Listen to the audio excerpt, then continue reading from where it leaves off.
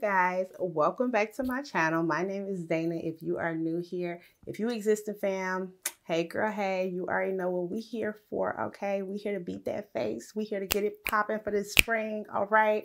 But guess what? Makeup revolution came up with look it came up with a Lion King edition and oh my god I just melted when I went in Target and saw this because who don't like the Lion King? Yeah, yeah. Ginger, hey, let me up. All I remember when I was a little girl is just watching it over and over again. Of course, I cried on some parts, but y'all know what part I'm talking about. But who do not like The Lion King? And look at these beautiful colors that they have on here. This was such an easy look to do and these colors complement my skin so well. So I am going to show you guys how I get this beautiful look and how I use this palette. And make sure you hit a thumbs up if you like this video. Also, make sure you locked in. Make sure you hit that subscribe button so you know the next time I put out a new video. And what's the next spring look I should do for you guys? Because I got to get you ladies spring ready. So you guys let me know what is the next color I should put on these lids right here. So without further ado, you guys, let's get into it. All right, you guys. So for the second time, I already did my eyebrows and I set my lids with Paint Pots by MAC Painterly. And we're going to go right into this beautiful palette. You guys, they have gorgeous colors. So the first color we're going to dip in today using my Morphe brush is Pumbaa. This is like a brown, a dark brown color. And I am going to tap this into my outer corner and then we're going to buff those edges out. Remember, we want a seamless look. So we're going to buff those edges out so we can place the next color right next to it. And just as a reminder, I purchased my eye brushes from Morphe. So next using my next brush, which is a Morphe brush, and I am going to dip into I'm Home. And this color is more like a burnt yellow, like a dark yellow color. And we're going to place this right next to Pumbaa and spread that all the way out until we hit the inner corner of our eye. And so for the next color, I am going to grab a flat brush by Morphe and we're going to dab right into Kingdom. I use one of my concealer brushes because it helps me kind of carve out that cutout crease a little bit better and you're going to pack this on until you see the color pay off but we're not going to fill it out all the way. We're just going to go midway. So next we're going to go into my elf flat brush and we're going to tap into sunrise. This is going to give that sunset color and we're going to tap that right in between that green color that I had and then Pumbaa which is the brown color on the other end. And remember I want you guys to marry it together. So we're going to dab back and forth between both colors until we get an ombre look. So next I'm going to go in with NYX Professional Makeup on the Rise Volume Lip Mascara. You guys, this mascara so bomb. I have grown a new love for this one, and this was really affordable. It's like $8, if I'm not mistaken, from Target. So don't sleep on drugstore makeup products, y'all. They get it done. So next I'm going to my Il Makiage eyeliner and this is also a favorite of mine.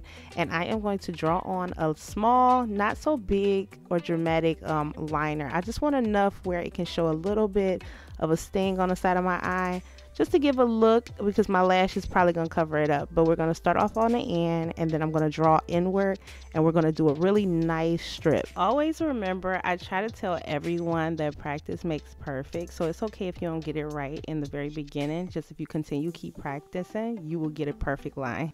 So next I'm going to grab my Beauty Supply lash, yes, for like what, $3? And then I'm going in with my Envy by Kiss super strong hold and I'm going to place that on the lash and you leave the glue on for about six seconds. Then place it right on your eyelid and you're going to position it but then use your tweezers to kind of join your actual lash in with the glue on the actual strip. And voila! So next I'm going to grab you guys my beauty blender and is by Real Techniques and we're gonna make sure it's damp and dab right into my e.l.f. poreless primer. You guys this is the bomb primer. When I say it helps blur out all of the texture and it also fills in if you have any pores.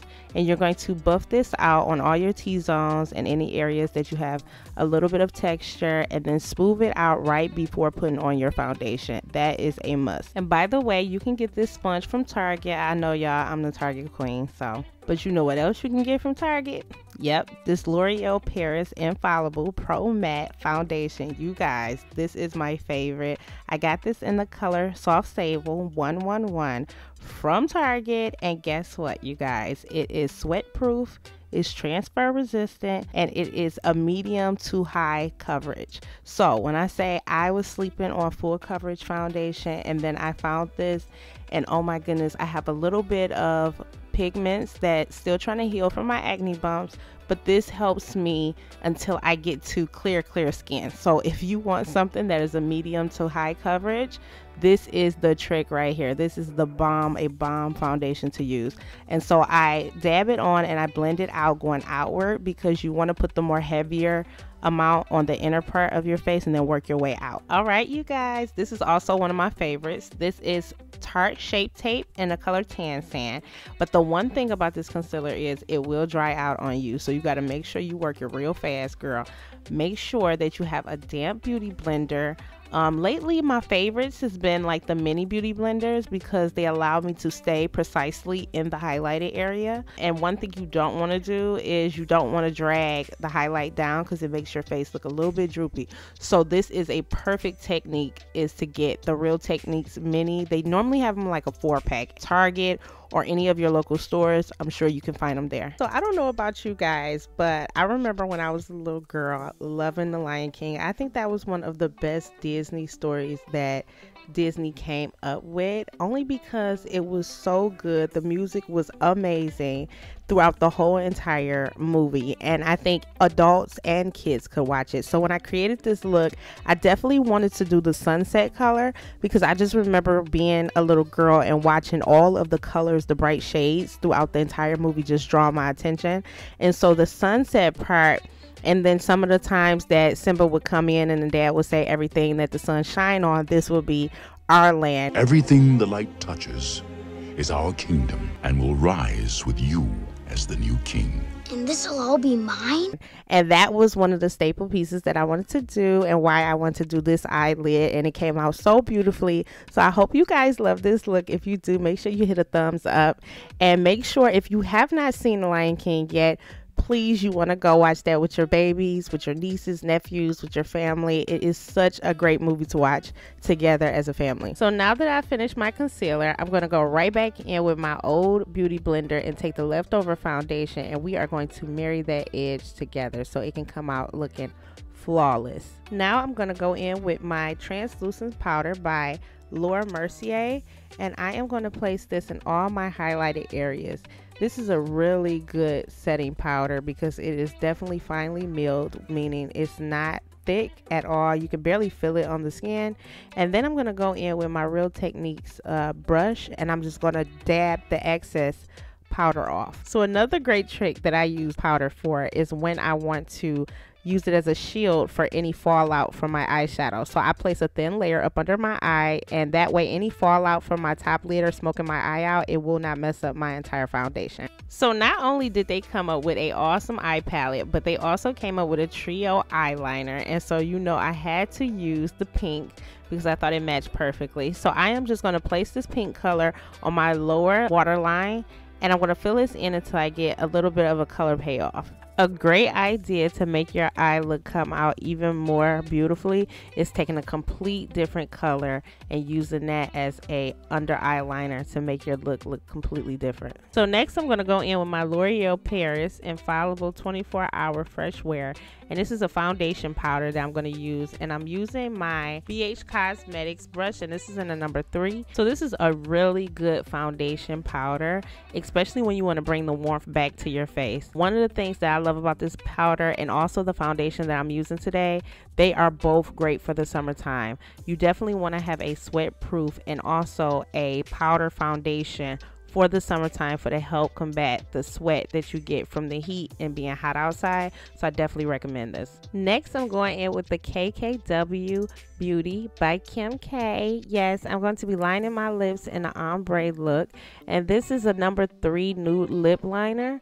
I love this lip liner. When I say it is the perfect shade for me, I have to find another staple one, but you guys know this is my utmost favorite. Also, this is a really creamy liner. They did they thing with this formula, so kudos to them. So this is a oldie but a goodie. This is MAC's limited edition. It's called Smarticle. This is like a medium warm tone color. It's like a copper tone, and this color is suitable for all skin complexions. So I love this color. This is still my top favorite, y'all. The Morphe setting spray. You cannot beat it. The big bottle is like $16, but the small mini one is like $10. When I say my favorite. So another one of my favorites is Anastasia Beverly Hills Sunset Aura Color. And this is their loose highlighter. When I say I pop this in my inner corner, my nose, and my cupid's bow, and it comes out so pretty every time. So another thing I love about this highlighter is that it's great for all skin tones. So this is it, you guys. I hope you guys enjoy.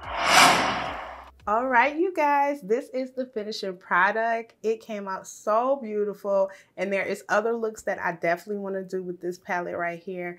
You guys make sure you go to Target and check out Makeup Revolution and pick up that Lion King palette. And without further ado, you guys make sure you hit a thumbs up. Don't forget to subscribe because you definitely know when the next time I put out a video. And until next time.